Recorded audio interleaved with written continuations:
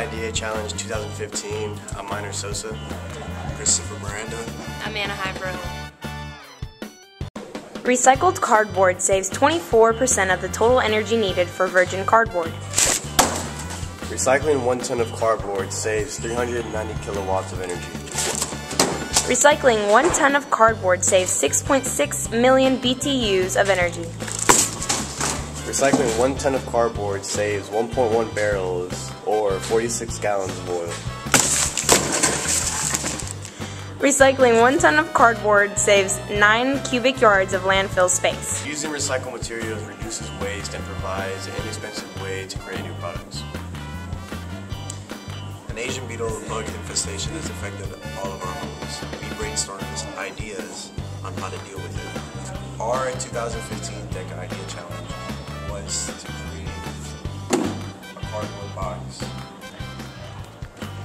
Problems with ladybug beetles occur in the late summer or early fall when the beetles seek out our homes and commercial buildings as a place to overwinter. The bug experts say Asian lady beetles are attracted to illuminated surfaces. They tend to congregate in the summer, southwest sides of buildings illuminated by the afternoon sun. Lady beetles bite while searching for food or water. They're not poisonous, but their bite is painful and can break the skin. The bugs also secrete a strong smelling liquid from the joints of that can stain lightly coated surfaces.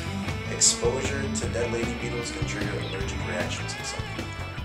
We as a team have worked together to create this hotel beetle warning. Asian beetles are attracted to light, corners, and other beetles. Our invention creates an inviting environment by reflecting light into a dark room. Once inside, the beetles move to the top of the trap and can be removed the next morning by simply tilting the trap, releasing the beetle. Hotel gives the choice to the homeowner to catch and release or dispose of the trapped insects.